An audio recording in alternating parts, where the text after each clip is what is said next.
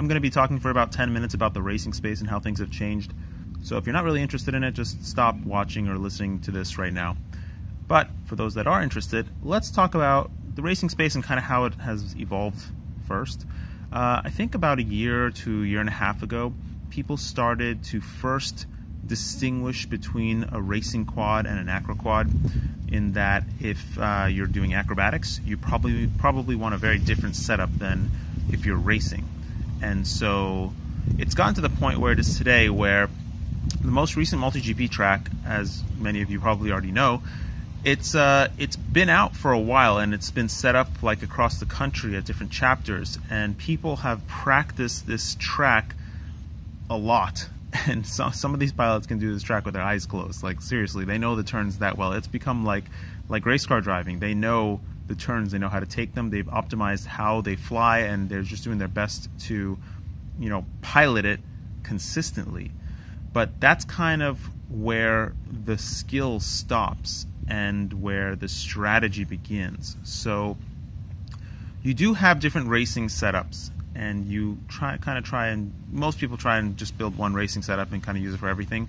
But a race like this has forced people to really experiment and test to see how they can better execute the track. And what I mean by that is this this particular track is it requires uh, it doesn't require absolute speed. It doesn't require um, absolute crazy agility. It, it's kind of like you can pretty much fly anything around it.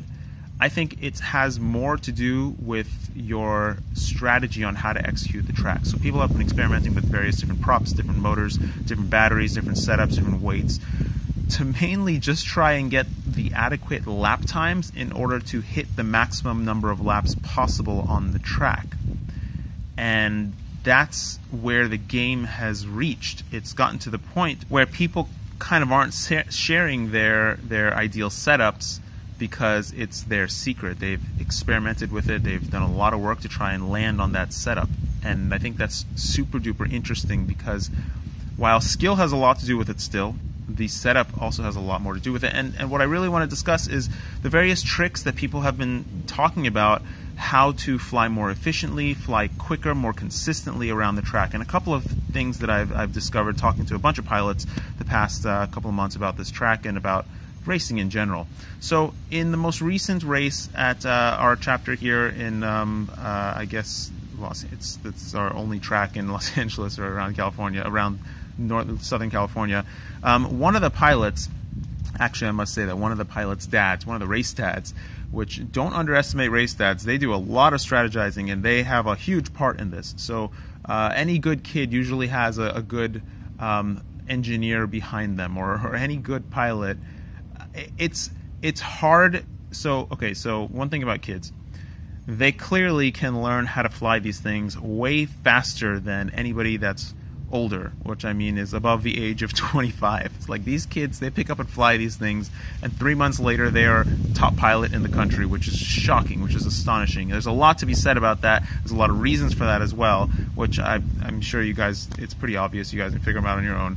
Um, but a lot of them have a race dad, which are should not be underestimated. They contribute a lot to this. And at one at the recent chapter race that we had at the recent regional race, uh, one of the race stats is set the controller to a max throttle of 80%, which means that the the maximum throttle that the the pilot could reach is 80%. And I'm going to show you how to do it on the Taranis right now. Uh, no. You go to this menu, and then you go to outputs, and then it's just your endpoints. So you can set your max endpoint to whatever you want. You can set it to 50% if you want. And so uh, the goal with this strategy was mainly to limit the maximum amps that are drawn because it, in I have a theory that what actually kills the battery is not is not it's not really just maximum amps or sustained amps. I think it's more uh, to do with your bursts. So uh, another theory that I'm kind of sort of thinking about and developing and slowly testing is that you can run high kV, no problem, and of course it's going to be able to draw way more amps than your battery can supply. But if you're smooth on the throttle and you're not super punchy and super crazy busting the battery up, I, I think it's going to last and it's going to be just fine. You will, you definitely higher kV absolutely gives you a higher top speed, and, and to me, it feels like it has much better control, and I've and I've heard that from many other pilots as well.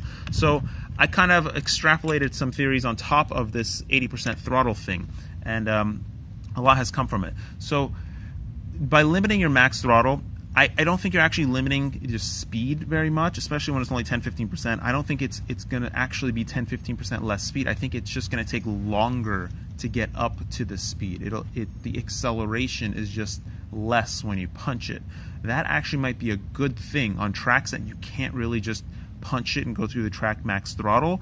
It might be a good thing to limit your maximum acceleration potential. Because the motor is still a little bit higher kV, or whatever the kV is, usually it's a higher kV that you have to tone it back because it's so powerful, uh, you're still getting the control improvement, which is, again, this is a completely unknown theory that I have personally just thought of myself and heard it from other pilots as well. No idea if it's true, but you are maintaining the performance of having the handling performance of having a higher kV motor, which in my theory, it just draws more amps to execute certain maneuvers, so it just feels like it has more torque, or it actually does have more torque and more power up to a certain point. There is point there is a, there's a too much kV limit as well, but up to a certain point, it feels like the higher kV stuff just feels like it has better control.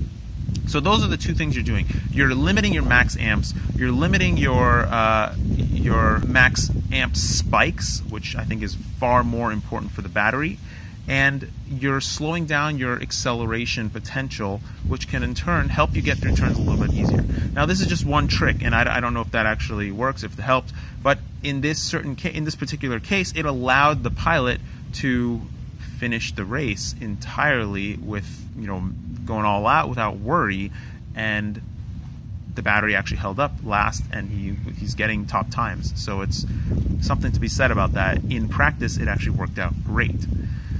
So on top of this, there's another idea that I have talked to another pilot about, Muo FPV, uh, and he doesn't fly with yaw very much. And that's very interesting to me because I know that FPV Provo and uh, Provo FPV and a couple other pilots that I've watched their footage, they don't fly. They, when you watch the footage, it looks like they're flying a plane. It doesn't look like they're flying a quad. Now, me personally, I love yaw. Yaw is yaw is how I fly, and my yaw my yaw stick is is actually much more sensitive than the right stick for a number of reasons. Not just because I like high yaw rate, because my finger just has a problem moving all the way to the end when I go up and down on the throttle range, which is just my problem. But so if you're flying a lot with yaw, the idea is that okay, so in order to execute maneuvers, the flight controller needs to spin the motors up and down accordingly to execute a roll, pitch, yaw, whatever. And so if you are flying at your max limit or up near the real high end of the RPM range, then the flight controller doesn't have access to as much RPM overhead to execute certain maneuvers. So I have no idea how the flight code works, but I expect that if you're maxed out, you still have yaw, you still have pitch roll and yaw control, so it's just reducing the RPM of the other motors to execute those maneuvers. I, I no idea if that's true, but that's my best guess because when I'm at max throttle, I still have full control of the quad. So, the yaw move, move yaw maneuver in particular requires more acceleration or deceleration of the motors to execute. A pitch and a roll doesn't take as much change in RPM just because of the way the setup of the quad is. So if you're flying at your near your limit, and you're yawing around, you're actually taking away from the maximum RPM range that the flight controller has access to in order to execute the moves, which in turn slows down your overall performance of the quad. So it would make sense that if you were less of a yaw pilot and focused more on like banking through turns, you might potentially be able to make it through a track more efficiently, faster, and save battery life by doing so. And on top of this idea, by limiting your maximum throttle, you will never ever hit the point where the, the flight controller doesn't have enough RPM to execute a maneuver. I am just pulling this out of nowhere. I have no idea how the flight code works. I have no idea if they've even taken this into, into account. Maybe, who, for all we know, the motors will never even reach 100% because the flight controller automatically limits everything to 90%. So it automatically, so it already has overhead left to execute the maneuvers. No clue. but it's interesting to think about. And these are just two things that I've learned from other pilots, and there are a lot of other strategies, three in particular that I know of, that are not widely shared. Uh, one other soft strategy is that people are warming up their batteries. Or uh, uh, Night Fury, I know he charges his batteries super fast. He charges at like 15, 20 amps, and what that does is it actually warms up the pack during the charge, so that it gets the the electrons flowing easier. The, a warmer a warm pack will dish out more more current than a cold pack. A lot of you already know this. When you fly in a cold environment, you don't quite have the same power as when you're flying in a warmer environment. Uh, and additionally, when your battery warms up a little bit, you feel like you got a little bit more juice. Things just flow, the, the throttle just flows easier. So what he's doing is he's warming up the packs and getting the resistance down lower. If you check on your charger and it does resistance, you'll you can probably see that your resistance kind of gets cut in half when the battery is warm. So he charges them real fast to get that resistance down low and get the pack flowing easier. Uh, that's another trick. There are a a couple of there's exactly three other tricks that I know that I've heard of. One that I came up with myself that uh, I know one team is using that are not it's they're not like cheating or anything. They're well within all guidelines, everything. They're using the same exact parts, the same exact components. Things like limiting your throttle to 80%. Like who would think that limiting your throttle to 80% is cheating? Like you're limiting your max performance. Things like that that can potentially give the pilot an edge based on how they fly and what they do.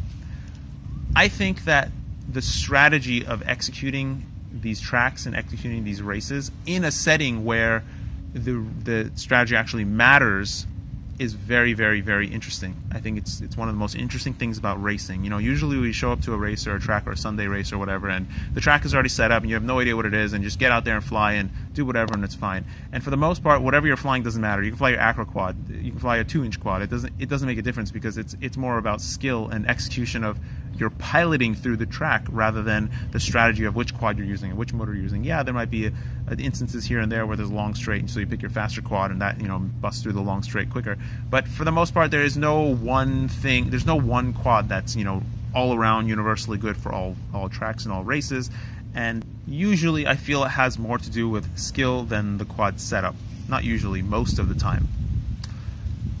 I would love to do more kind of discussion about this area. I don't know if people are particularly interested in this area. I think that if uh, there were more race series that are publicized and on TV, I think it would be much more interesting if they discussed the fine details of the quads, of the setups, the pilots, what they have done to train, what they do to train, because some of these pilots are putting in some serious hours and thought into their training. So it's it's it's becoming something really really interesting to discuss because I mean anytime someone's putting this much effort into what they're doing it's got to be something interesting coming out of it. Uh, that's it. Sorry for the excessively long video today about arguably not much. And um, don't forget to floss. Bye bye.